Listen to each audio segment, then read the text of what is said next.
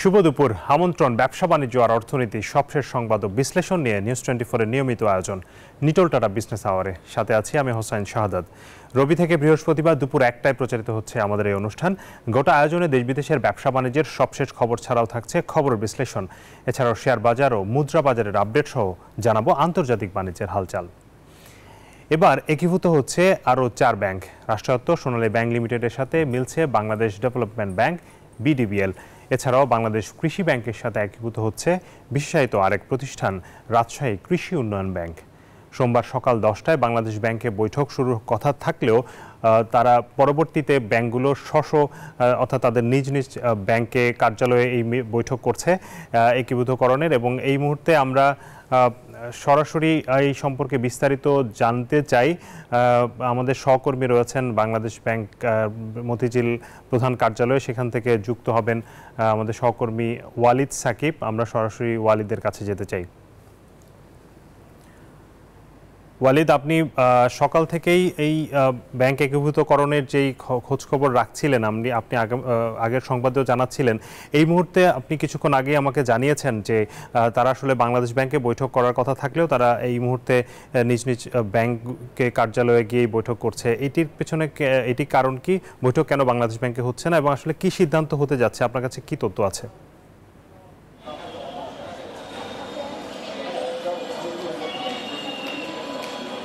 জি ধন্যবাদ, শাহাদাত। আপনি বলছিলেন যে যেই চারটি ব্যাংক একীভূত হওয়ার কথা রয়েছে, একটি হচ্ছে রাষ্ট্রায়ত্ত সোনালী ব্যাংকের সাথে রাষ্ট্রায়ত্ত সোনালী ব্যাংকের সাথে আরেকটি রাষ্ট্রায়ত্ত প্রতিষ্ঠান বাংলাদেশ ডেভেলপমেন্ট ব্যাংক, অর্থাৎ বিডিবিএল, একীভূত হবে।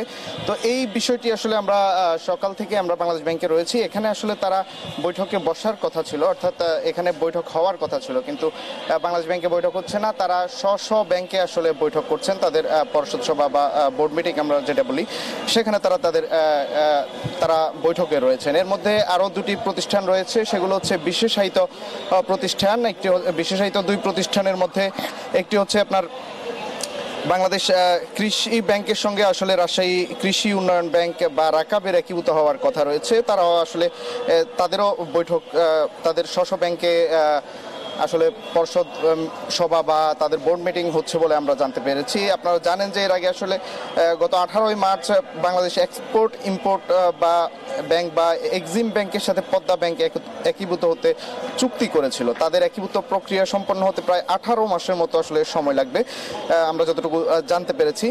দর্শকদের যদি আমরা একটু জানিয়ে রাখি বাংলাদেশ ব্যাংক তিনটি ক্যাটাগরিতে দেশের ব্যাংকগুলোকে চিহ্নিত করেছিল। এর মধ্যে বারোটি ব্যাংক রেড জোনে ছাব্বিশটিকে ইয়েলো জোনে এবং ষোলোটি ব্যাংক গ্রিন জোনে রয়েছে। আরেকটু যদি জানিয়ে রাখি যে বারোটি ব্যাংককে রেড জোনে রাখা হয়েছে, তার মধ্যে নয়টি ব্যাংক কিন্তু অতি দুর্বল হিসেবে চিহ্নিত করেছে বাংলাদেশ ব্যাংক আর যেই ষোলোটি ব্যাংক গ্রিন জোনে রয়েছে যেই ষোলোটি ব্যাংক গ্রিন জোনে রয়েছে, তার মধ্যে যদি আমরা একটু বলি, তাহলে আটটি ব্যাংক হচ্ছে বাংলাদেশের, যেগুলো হচ্ছে গ্রিন জোনে রয়েছে। অর্থাৎ এই ব্যাংকগুলো সফল বা ভালো ব্যাংক হিসেবে আমরা বলতে পারি। আর বাকি আটটি ব্যাংক কিন্তু বিদেশি ব্যাংক যারা হচ্ছে বাংলাদেশে তাদের কার্যক্রম পরিচালনা করছে। সাদাত, আপনারা আপনাকে আর একটু জানিয়ে রাখি যে আপনারা জানেন না, আমাদের দর্শকদের সুবিধার্থে আর একটু যদি জানিয়ে রাখি যে গেল কিছুদিন আগে আসলে বাংলাদেশ ব্যাংক একটি নীতিমালা জারি করেছে। ব্যাংক একীভূত সম্পন্ন কীভাবে হবে? তো সেখানে আসলে বাংলাদেশ ব্যাংক একটি বাংলাদেশ ব্যাংকের নীতিমালা আসলে ওই প্রজ্ঞাপনে আসলে বলা হয়েছে যে যেই দুর্বল ব্যাংকের একীভূত হবে সঙ্গে সেই ব্যাংকের আসলে এমডি আপনি কি আমাকে শুনতে পাচ্ছেন? একটু ছোট করে যদি বলেন একটু ছোট করে যদি বলেন যে আজকে কি আসলে কোনো সিদ্ধান্ত বা চুক্তি হচ্ছে কিনা এই চারটি ব্যাংকের মধ্যে? আপনি এই তথ্যটি আমাদেরকে জানান।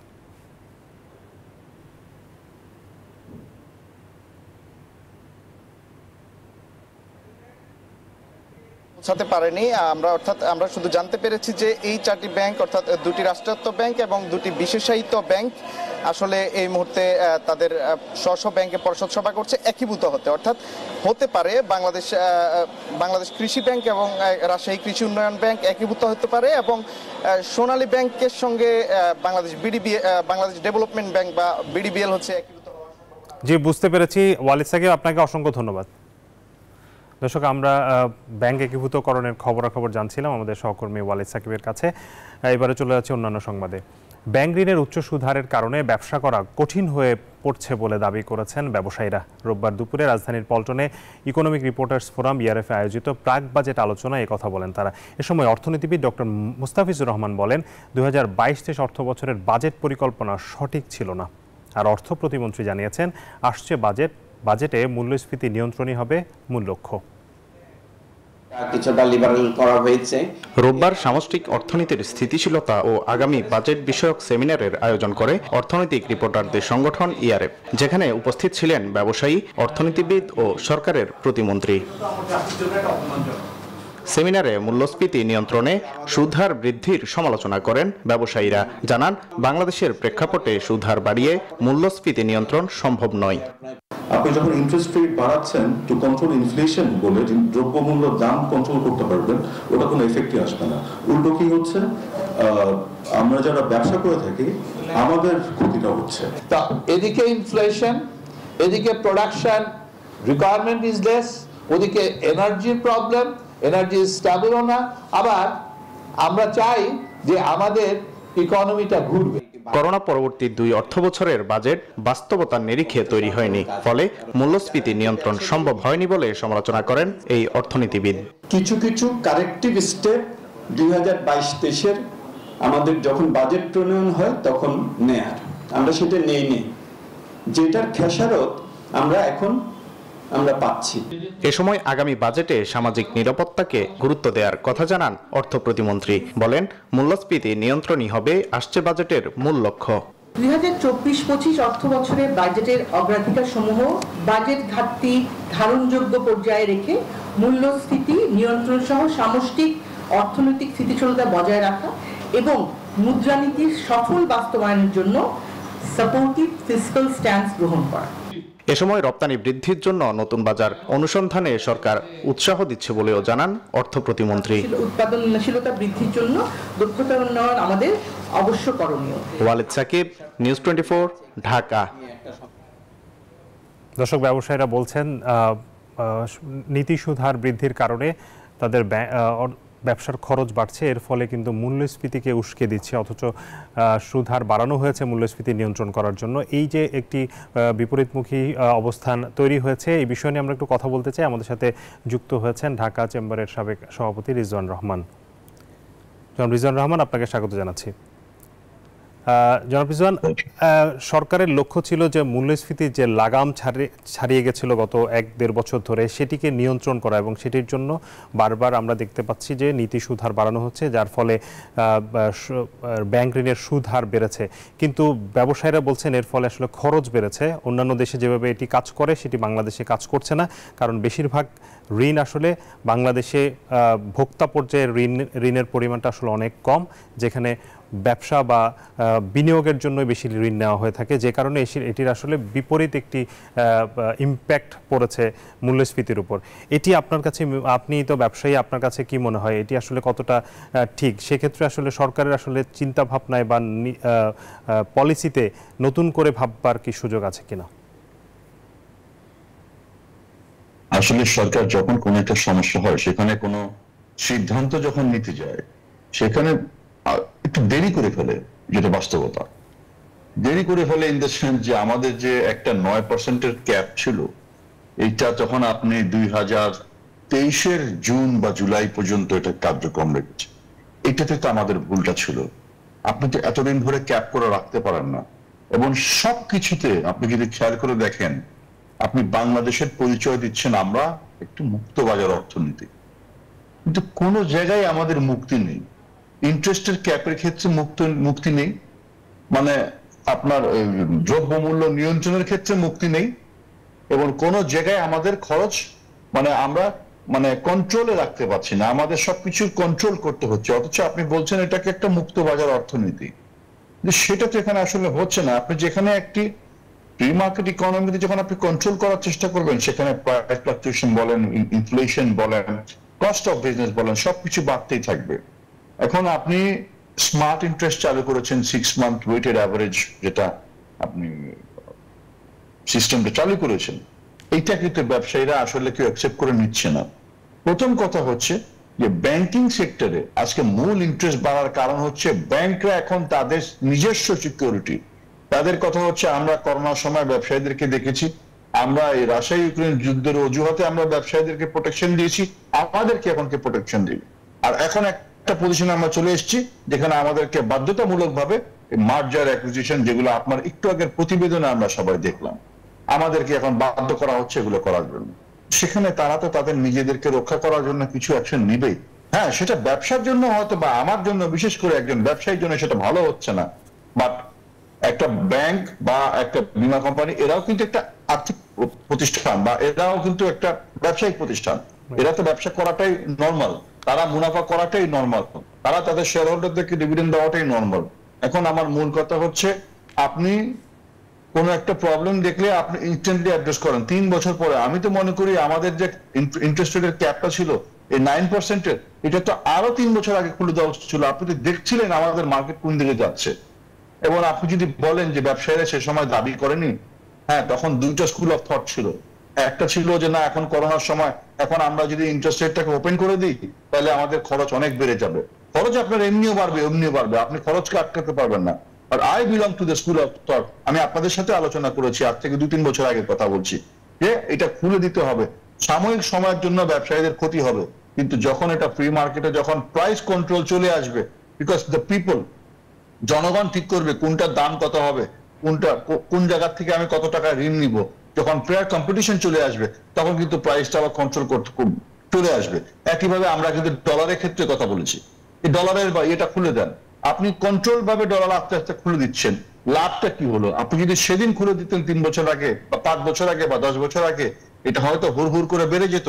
বাট মার্কেটের মানে সাথে একটা সামঞ্জস্যতা রেখে রেটটা কিন্তু নেমে আসতো। এটা কিন্তু অতীতে বিভিন্ন দেশে হয়েছে, যারা ডলারের রেট খুলে দিয়েছে। কিন্তু আমরা সেটা করতে পারিনি। এবার আমরা কন্ট্রোল করে রাখতে রাখতে আমরা একশো বিশ টাকা, একশো চব্বিশ টাকায় নিয়ে গিয়েছি। কারণ সেটার জন্য দায়বদ্ধ কে নিবে? আরেকটা হলো সুশাসনের অভাব। ব্যাংকিং খাতে যেহেতু সুশাসনের অভাব এখানে মানুষ টাকা নিয়ে চুরি করে, পাচার করে বা যাই করে দুর্নীতি করছে, অত সঠিকভাবে ব্যবসা করছে না। তার মধ্যে যেটা হচ্ছে, যারা মানে নন উইলফুল ডিফল্টার্স যাদের ব্যবসায় ক্ষতি হয়েছে, যারা করোনায় সাফার করেছে, আমার একটা প্রতিষ্ঠান আমি করোনায় বন্ধ করে দিচ্ছি I am not a defaulter আমার কষ্ট হয়েছে সেই ডিফল্ট সেটেল করতে। বাট আমার পয়েন্টটা হচ্ছে, এখানে উইলফুল এবং নন উইলফুলের মধ্যে কোনো পার্থক্য থাকে না। ব্যাংকরা দেখা যায় সবাইকে এক চোখেই দেখছে। এটা কিন্তু আমাদের কনজিউমারদের জন্য একটা আশঙ্কা রয়ে যায়। এর পাশাপাশি আপনি যখনই এই নন উইলফুল ডিফল্টারদের কোনো জবাব দিতে থাকে না, দেখছে যে কোর্টে গিয়ে কোনো আদায় করতে পারছে না টাকা পয়সা সেখানে যখন জাস্টিসের উপর ভরসা পাচ্ছে না, তখন এই ব্যাংকরা কি করছে? এই ইন্টারেস্ট রেট বাড়িয়ে দিচ্ছে। কাগজপত্র লেনদেনের জন্য আরও বিভিন্ন কাগজপত্র চাচ্ছে। একটা অনেস্ট ব্যবসায়ী যখন একটা জেনুইন ব্যবসা করবে, তার কাছে এমন কাগজপত্র চাচ্ছে যেটা দিতে দিতে তার ব্যবসায় বন্ধ হয়ে যাবে। এগুলো হচ্ছে lack of coordination lack of policy coordination আমাদের দেশে আইন আছে, আমাদের দেশে পলিসি আছে। আমি সবসময় বলেছি, আমাদের সব পলিসি আছে। আমাদের নতুন কোনো পলিসি দরকার নেই, কিন্তু পলিসির কোনো ইমপ্লিমেন্টেশন নেই। আমাদের দেশে সব রকমের আইন আছে। ব্রিটিশ আমলের আইন আমাদের এখানে এখনও এখন কার্যচলিত হচ্ছে। কিন্তু আমরা সেগুলোকে বাস্তবায়ন করতে পারছি না, সেগুলোকে আমরা ইমপ্লিমেন্ট করতে পারছি না, কাউকে আমরা জবাবদিহিতার আওতায় আনতে পারছি না। এগুলো কিন্তু আমাদের macro level problem as well as micro level problem দুটোটাকে কিন্তু আমাদেরকে এফেক্ট করছে। এবং আজকে যে ব্যাংকিং সিস্টেমে যে আপনি বাধ্য হয়ে বাংলাদেশ ব্যাংক একটা কন্ট্রাকশনারি মনিটারি পলিসি করছে। আপনি একদিন করছেন এক্সপ্যানশনারি আরেকদিন করছেন কন্ট্রাকশনারি কোনোদিন কি আপনি মনিটারি পলিসি করার আগে ব্যবসায়ীর সাথে বসছেন? আমার তো মনে হয় না, কারণ আমি যখন একটি ব্যবসায়ী সমাজের সাথে খুব মানে রেগুলার ইন্টারাকশনে ছিলাম বা আমরা যখন বিভিন্ন প্রতিষ্ঠানে নেতৃত্ব দিচ্ছিলাম, আমরা কোনো সময় দেখিনি। আমাদের কথা হচ্ছে যে যারা ব্যবসা করে, যারা ব্যবসা পরিচালনা করে, আপনি তাদের সাথে কথা না বলে, আপনি কার সাথে কথা বলে কি পলিসি করছেন, এটা তো আমি জানি আমার পয়েন্ট হচ্ছে যে আপনাকে, আপনি যদি ফ্রি মার্কেট বলতে চান এটা is not a completely government run economy কারণ প্রাইভেট সেক্টরের অবদান, অবশ্যই প্রাইভেট সেক্টরের অবদান হচ্ছে eighty percent plus obviously private সেক্টরকে include করতে হবে, বিভিন্ন স্টেক হোল্ডারদেরকে ইনক্লুড করতে হবে, যে আমার ইনফ্লেশনটাকে কন্ট্রোল করার জন্য আমার কি করণীয় উচিত। আপনার ফুড ইনফ্লেশন কন্ট্রোল করার জন্য আমার তো মনে হয় না বাংলাদেশ ব্যাংক কোনো সময় বাণিজ্য মন্ত্রণালয়ের সাথে কোনো পরামর্শ কোনো মিটিং এ বসে। আমার ধারণা নেই, আমি কোনো সময় শুনিনি। সেটা তাদেরও করা উচিত।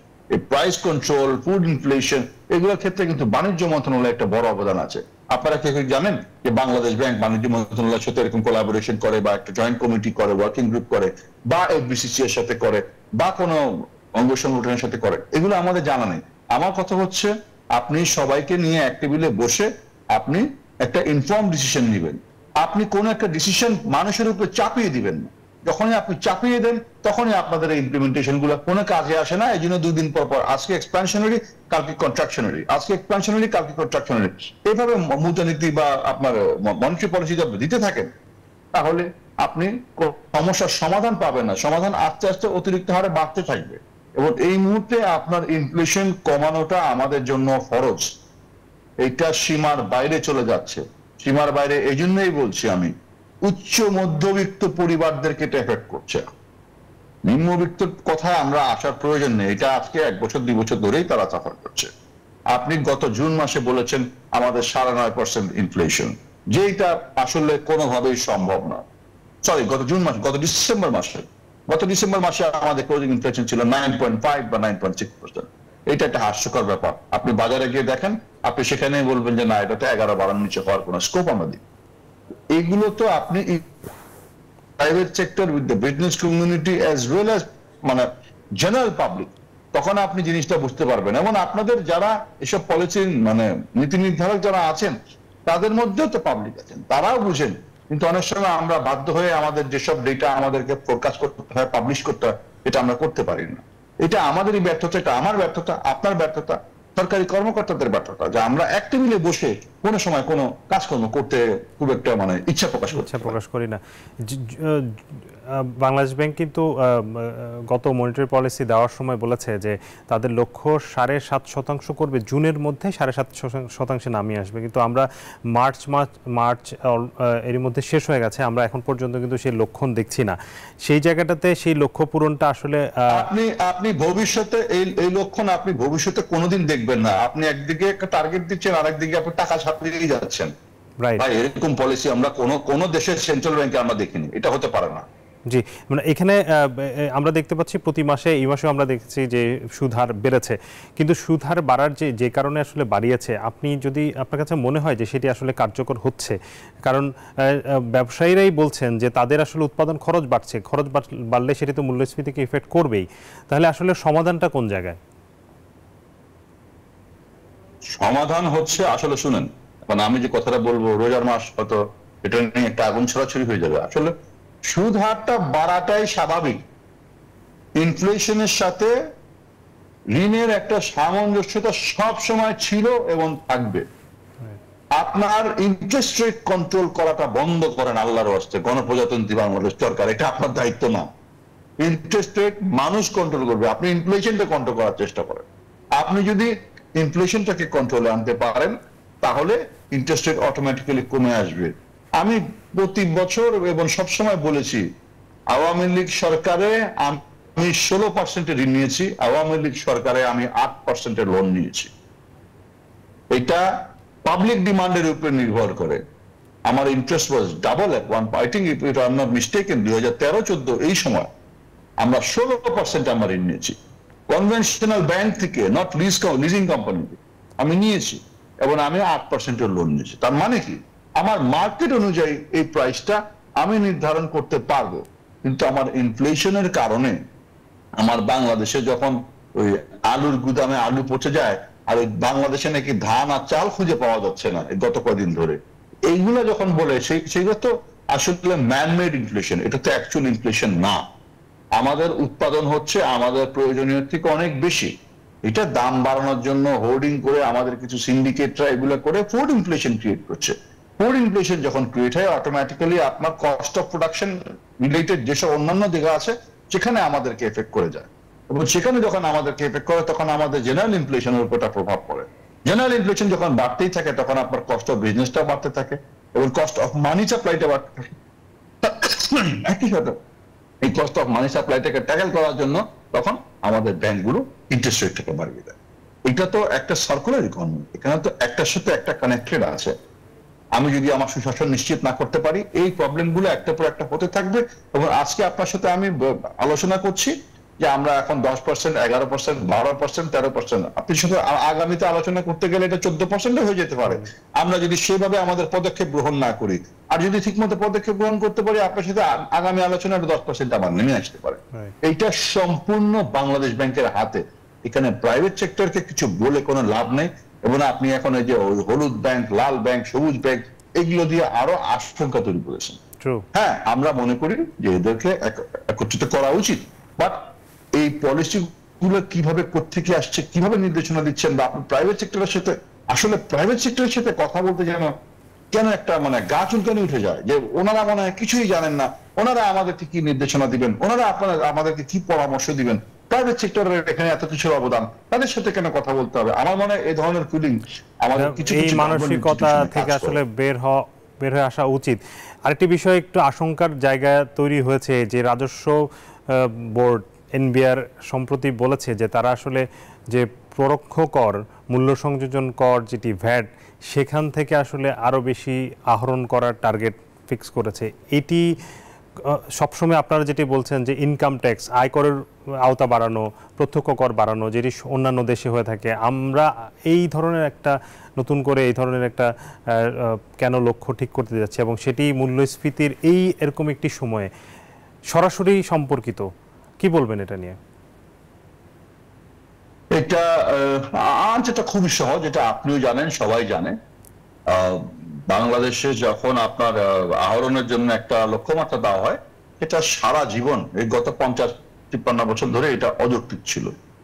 অযৌক্তিক লক্ষ্যমাত্রা দেওয়া হতো। মানে এনবিআর কি একটি সহজ সমাধানে সহজ সমাধানের দিকে যাচ্ছে। আমি বেশি আহরণ করতে চাই এটি আমার জন্য খুব সহজ। জি আমি আপনার উপরে চাকরি দিতে চাই এটাই আমার জন্য খুব সহজ। আমার আরও জনকে খোঁজার দরকার নেই। আপনি যতদিন বেঁচে থাকবেন আপনাকে চেপে আমি আপনার থেকে বের করে নিব। এটাই আমাদের মাইন্ডসেট সবসময় ছিল, এটা নতুন কিছু না। আর একটা জিনিস কি, আমাদের ব্যবসায়ীরা না খুব অ্যাডাপ্টিভ আমরা অ্যাডাপ্টিভ হয়ে গেছি। আমরা প্রতি বছর বাজেটের আগে শুনি, এবার হবে বেসরকারি খাতের বাজেট এবার হবে আকর্ষণীয় বাজেট যদিও চ্যালেঞ্জিং হবে, এই হবে, এগুলো শুনতে শুনতে আমরা অভ্যস্ত এবং আমরা ইস্টু এবারের বাজেট কি হবে, এটা আমাদের সাথে বসার আগে আমরা জেনে গেছি, কি হবে। একই হবে বাজেট এবং আমরা এটার মধ্যে ম্যানেজ করে চলবো, এটা পয়েন্ট না। পয়েন্ট হচ্ছে আপনার যে মূল প্রশ্নটা ছিল আপনি, এই মানে যেহেতু আপনি ইনকাম ট্যাক্স আহরণের কোনো নামগন্ধ দেখছেন না, আপনি ট্যাক্স অটোমেশনের কোনো নামগন্ধ দেখছেন না, আপনি এখানে ডিজিটাইজেশন বলেন বা আপনার এই ট্যাক্স কর জাল বাড়ানোর ক্ষেত্রে আপনি তাদের কোনো ইচ্ছা দেখছেন না। সেখানে সবচেয়ে সুবিধা হলো, প্রান্তিক জনগোষ্ঠী ব্যবসায়ীদেরকে ধরে তোমার ছেলে তো তোমার ভ্যাট এত ধরে দাও, এই, এটা সবচেয়ে সহজ। এইটা দিয়ে ওনারা এই প্রেশারটাকে আর একটু বাড়াতে চাচ্ছেন এবং আনফর্চুনেটলি এই ব্যাটের প্রেশারের সাথে সরাসরি মূল্যস্ফীতির সম্পর্ক। এটা আপনি কোনোদিন আটকাতে পারবেন না। এটা ফুড ইনফ্লেশনে গিয়ে আটকাবে, এটা জেনারেল ইনফ্লেশনে গিয়ে আমাদেরকে আটক করবে। এই জিনিসটা এই মুহূর্তে সম্পূর্ণ একটা ডেঞ্জারাস অ্যাটিচিউড এটা যদি সরকারের অ্যাটিচিউড হয়ে থাকে যে আমি ট্যাক্স বাড়িয়ে দিব, এরকম একটা সময়। এখানে আপনাকে আমি একটু আগে বললাম যে এখন এটা এমন একটা পর্যায়ে চলে গেছে যে upper middle class upper middle class not middle class ওরা এটা নিয়ে খুব কথা বলছে খুব আলোচনা করছে এবং তাদেরকে খুব ডিস্টার্ব করছে জিনিসটা। আজকে ডিস্টার্ব করছে কালকে তাদেরকে আঘাত করবে। ডিস্টার্ব এবং আঘাত দুটা দুই জিনিস। কালকে যখন আঘাত করবে তখন তারাও কিন্তু অসহায় হয়ে পড়বে। এই পয়েন্টটা বলার পিছনে কারণ হচ্ছে যে বাংলাদেশ ব্যাংক যখনই একটা স্বল্প মেয়াদী পরিকল্পনা বাস্তবায়ন করতে যায় সেটা কীভাবে যেন দীর্ঘমেয়াদী হয় যেটা আমি আগে বলেছি। কিন্তু আপনি এইভাবে ইমপ্লিমেন্টেশন করলে হবে না। আপনি যখন তিন মাসের পরিকল্পনা করবেন সেটা তিন মাসের পরে অন দ্য ফোর্থ মান্থ এটা বন্ধ হয়ে যাবে। আপনি সিক্স মান্থ প্ল্যান করবেন সেভেন্থ মান্থ এটা বন্ধ হয়ে যাবে। এই জিনিসটা আমাদের আসলে মাইন্ডসেট এটা মাইন্ডসেটের অভাব এবং ইন্টার মিনিস্টেরিয়াল এবং পাবলিক প্রাইভেট। কোলাবোরেশন কোলাবোরেশন অভাব জি। জনাব রিজওয়ান আপনাকে অসংখ্য ধন্যবাদ। আমাদের আসলে সময় শেষ। আপনার সাথে নিশ্চয়ই ভবিষ্যতে আবারও কথা হবে। দর্শক, আমরা কথা বলছিলাম সুধার বৃদ্ধির প্রভাব নিয়ে। আমাদের সাথে যুক্ত ছিলেন ঢাকা চেম্বারের সাবেক সভাপতি রিজওয়ান রহমান। এই মুহূর্তে সময় হলো একটা বিরতির, ফিরবো একটু পর। সাথেই থাকুন। আবারও স্বাগত জানাচ্ছি নিটল টাটা বিজনেস আওয়ারে। ব্রাজিলের কাছে তৈরি পোশাকের শুল্কমুক্ত প্রবেশাধিকার চায় বাংলাদেশ। দেশটির পররাষ্ট্রমন্ত্রীর সাথে বৈঠকের পর একথা জানান বাণিজ্য প্রতিমন্ত্রী আহসানুল আহসানুল ইসলাম টিটু। আর চুক্তি সইয়ের পর ব্রাজিলের পররাষ্ট্রমন্ত্রী মাউরো ভিয়েরা বলেন, ব্রিক্সে যুক্ত হতে বাংলাদেশকে সমর্থন দেবে ব্রাজিল। দুই দিনের রাষ্ট্রীয় সফরে সকালে ঢাকা পৌঁছান ব্রাজিলের পররাষ্ট্রমন্ত্রী মাউরো ভিয়েরা। দুপুরে বৈঠক করেন বাণিজ্য প্রতিমন্ত্রীর সাথে। আলোচনায় ছিল পারস্পরিক বাণিজ্য সহযোগিতা, দুই দেশই তুলে ধরে সম্ভাবনার ক্ষেত্র। পরে বাণিজ্য প্রতিমন্ত্রী জানান, শুল্কমুক্ত বাজার নিয়ে আলাপ হয়েছে। ব্রাজিলও নতুন পণ্য রপ্তানিতে আগ্রহী। ওদের থেকে যে কটনটা আমরা নিয়ে আসতেছি, সেই কটনের তৈরি গার্মেন্ট যেন আমরা duty free quota free access পাই। ওদের এনিম্যাল প্রোটিনটা একটা ফোকাসে ছিল আর কি। এবং আমরা আগামী কোরবানিকে সামনে নিয়ে আমি পার্সোনালি তাদেরকে রিকোয়েস্ট করছি যে কেন লাইফ ক্যাটেল কেন, যদি সস্তাই হয়, তাহলে আমাদের দেশে লাইফ ক্যাটেল আনার কোনো ব্যবস্থা করা যায় নাকি? পরে রাষ্ট্রীয় অতিথি ভবন পদ্মায় বাংলাদেশের সাথে কারিগরি সহযোগিতা চুক্তি সই করে ব্রাজিল মাউরো ভিয়েরা বলেন বাংলাদেশের সাথে বাণিজ্য অংশীদারিত্ব বাড়াতে আগ্রহী তার দেশ জোরালো বিবেচনায় থাকবে ব্রিক্সের সদস্য পদে যুক্ত হওয়াও will examine the candidature of other countries, and Bangladesh is a country very close to us with shared principles, shared positions. We will consider it uh, from our side very strongly and positively. We have similar agendas uh, which will allow us to work together and to develop even more our bilateral relations. শুধু Brazil Bangladesh নয় আঞ্চলিক বাণিজ্য সম্প্রসারণেও দুই দেশ একে অপরকে সহযোগিতা করবে বলে প্রত্যাশা করেন ব্রাজিলের পররাষ্ট্রমন্ত্রী। To have come to Bangladesh on Nahid Hossain news twenty Dhaka. এবারে শেয়ার বাজারের খবর।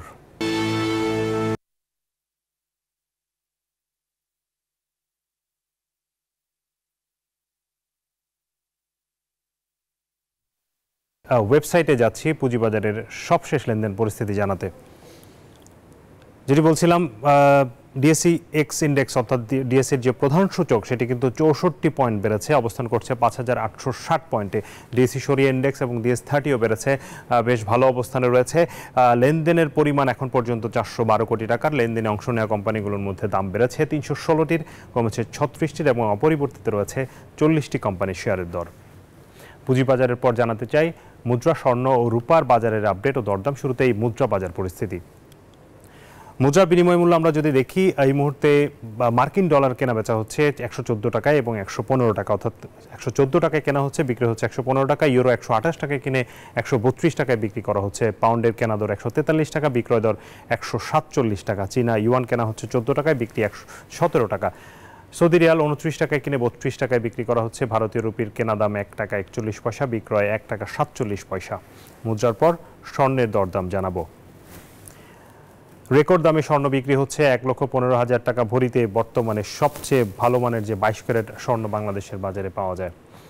একুশ ক্যারেটের দাম পড়ছে এক লক্ষ দশ হাজার টাকার বেশি। আঠারো ক্যারেট চুরানব্বই হাজার সাতশো সত্তর টাকা এবং সনাতন স্বর্ণ বিক্রি হচ্ছে আটাত্তর টাকা, প্রায় উনআশি হাজার টাকায়। রূপার দরদাম জানাতে চাই। স্বর্ণের দাম বাড়লেও অপরিবর্তিত দামেই কিন্তু রূপা বিক্রি হচ্ছে। বাইশ ক্যারেট রূপার দাম প্রতি ভরিতে দুই হাজার আটানব্বই টাকা, একুশ ক্যারেটের দাম পড়ছে দুই হাজার পাঁচ টাকা, আঠারো ক্যারেট সতেরোশো চোদ্দ টাকা এবং সনাতন রূপা বিক্রি হচ্ছে বারোশো বিরাশি টাকায়। দর্শক, নিটল টাটা বিজনেস আওয়ারের সময় হলো আরও একটি বিরতি ফিরবো দেশ ও বিশ্ব বাণিজ্যের আরও খবর নিয়ে। সাথেই থাকুন। দর্শক, আবারও স্বাগত জানাচ্ছি নিটল টাটা বিজনেস আওয়ারে। এবারে জনপদের শিল্প ও বাণিজ্যের খবর। দরজায় করা নাড়ছে ঈদ। টানা ছয় দিনের ছুটিতে পর্যটকরা কুয়াকাটায় ছুটিতে ছুটে আসবেন বলে আশা ব্যবসায়ীদের। তাই পর্যটক বরণে প্রস্তুত সাগরকন্যা কুয়াকাটা। ইতিমধ্যে কুয়াকাটার অধিকাংশ হোটেল মোটেলে বুকিং শেষ। পাশাপাশি পর্যটকদের নিরাপত্তায় সব ধরনের প্রস্তুতির কথা জানিয়েছেন কর্তৃপক্ষ। পটুয়াখালী থেকে শিকদার জোবায়ের হোসেনের রিপোর্ট। এবার ঈদে লম্বা ছুটি। যান্ত্রিক শহর ছেড়ে ভ্রমণ পিপাসু অনেকেই এই সুযোগে ছুটে যান সূর্যোদয় সূর্যাস্তের বেলাভূমি কুয়াকাটায়। পদ্মা সেতু চালু হওয়ায় ভোগান্তিহীন যাত্রায় এবারও লাখো পর্যটকদের মিলন মেলা হতে পারে কুয়াকাটায়। লম্বা ছুটিতে সৈকতের নৈসর্গিক সৌন্দর্য পর্যটকদের জন্য আরও বেশি উপভোগ্য করতে হোটেল মোটেলে নানা আয়োজন। সব রকমের প্রস্তুতি সেরে এখন তাই পর্যটকদের আশায় ব্যবসায়ীরা বিশেষ করে দেখা যায় যে ঈদে অনেক পর্যটন আসবে মানে একটু নিরিবিলি ফ্যামিলির সাথে টাইম স্পেন্ড করার জন্য। এখানে অনেক প্রকৃতিটা খুব ভালো লাগে এখানে এলে খুব শান্ত পাই মানে মনটাকে অনেক মানে এখানে আসলে কেন যেন আলাদাভাবে একটা আনন্দ পাই। আর এখানে হলো সূর্যোদয় সূর্যাস্ত দেখার জন্য কুয়াকাটা তো একটা মনোরম পরিবেশ আসলে মন ভালো হয়ে যায় মন খারাপ থাকলে এখানে আসলে ভালো লাগে। আহ, প্রত্যেকটা হোটেলই ফিফটি পার্সেন্ট বা তারও বেশি ডিসকাউন্ট দিয়েছে। আসন্ন ঈদ উল ফিতর আহ, উপলক্ষে কুয়াকাটা ইতিমধ্যে হোটেলগুলোতে সৌন্দর্য বর্ধনের কাজ সমাপ্ত হয়েছে। সৈকতে পর্যটকদের নিরাপত্তায় বাড়ানো হয়েছে পুলিশের নজরদারি। থাকবেন নির্বাহী ম্যাজিস্ট্রেটও। এছাড়া জোরদার করা হয়েছে উদ্ধার কার্যক্রম। প্রতিদিন চল্লিশ জন স্কাউট সদস্য আমাদের টুরিস্ট পুলিশ থানা পুলিশ এবং বিচ ম্যানেজমেন্ট কমিটির ভলান্টিয়ার সহ মোট শতাধিক ভলান্টিয়ার এবং নিরাপত্তা কর্মীরা তারা নিরাপত্তা প্রদান করবেন। ডেস্ক রিপোর্ট নিউজ টোয়েন্টি এবারে বিশ্ব বাণিজ্যের খবর। যুক্তরাষ্ট্রের নিউ ইয়র্কের বাঙালি মুসলিম পাড়ায় এখন ঈদের আগেই উৎসবের আমেজ। ঈদ বাজার ঘিরে সরগরম বিভিন্ন এলাকা। অপেক্ষায় চাঁদনি রাতের জমজমাট আসরের শাড়ি গহনার সাথে মেহেদির রং নিজেদের মেহেদির রঙে নিজেদের রাঙিয়ে তোলার নানা আয়োজন নিউ ইয়র্ক জুড়ে। ঈদ সামনে রেখে জমে উঠেছে কেনাকাটার হিরিক। অনিক রাজের তথ্য, ছবিতে রেক্স রিপোর্ট। ঈদকে সামনে রেখে বাহারি লাইটে সেজেছে নিউ ইয়র্ক। আর ক্রেতাদের টানতে বাহারি ডিজাইনে ঈদের পোশাকে সাজানো হয়েছে নিউ ইয়র্কের দোকানগুলো। ঈদের দিন যতই ঘনিয়ে আসছে, বিভিন্ন দোকানে ততই ক্রেতার সমাগম বাড়ছে। ক্রেতারা বলছেন, অন্যান্য বছরের তুলনায় এ বছর পোশাকের দাম অনেকটাই বেশি। বাংলাদেশি প্রতিষ্ঠানগুলোর পাশাপাশি দেশীয় কাপড় পাওয়া যাচ্ছে মেলাতে। এছাড়া বিভিন্ন দেশ থেকে পোশাক এসেছে। সেসব দোকানে পুরো পরিবার নিয়ে তাদের পছন্দের এবং পরিবার পরিজন নিয়ে কেনাকাটা করছেন প্রবাসীরা। ফার্স্টে থেকে আমরা সারা ভালোই পেয়েছি। সবাই আমাদের সাথেই ছিল এবং আমরা যখন বলেছি যে আমরা মেলা করব কুইন্স মেলা, তো তখন ওরা অনেক মানুষই ছিল আর কি আসলে। গুটি কয়েক বাঙালিকে নিয়ে একটা বড় কিছু করতে চা- করার যে ইচ্ছাটা সেটা মনে হয় কিছুটা হলেও আমরা সফলভাবে করতে পেরেছি। সাতপিন বুলুবাটে কেনাকাটার জন্য আসছি। অনেক মানুষ ঈদের আমেজ সবার মধ্যে বহমান। খুব ভালো লাগছে। মেলার জন্য আমরা অনেক বেশি ডিসকাউন্ট দিয়ে থাকি। যেই কারণে এখানে আমাদের অনেক অনেক বেশি ভালো সেল হয়। আমরা সেলাররা খুবই হ্যাপি এই মেলাতে এসে সবসময়। তবে অনেক ক্রেতা বলছেন নিউ ইয়র্কে ঈদকে সামনে রেখে শুধু পোশাকের দোকানে নয়, গহনার দোকানগুলোতে ভিড় করছেন প্রবাসীরা। ডেস্ক রিপোর্ট, নিউজ টোয়েন্টি দর্শক, এই ছিল নিটল টাটা বিজনেস আওয়ারের আজকের আয়োজনে। ব্যবসা বাণিজ্যের সবশেষ খবর ও খবরের বিশ্লেষণ জানতে চোখ রাখুন রবি থেকে বৃহস্পতিবার দুপুর একটায় বিজনেস আওয়ারে। এছাড়া রাত নয়টায় বিজনেস এক্সপ্রেস দেখার আমন্ত্রণ জানিয়ে এখানে শেষ করছি। এতক্ষণ সাথে থাকার জন্য ধন্যবাদ সবাইকে।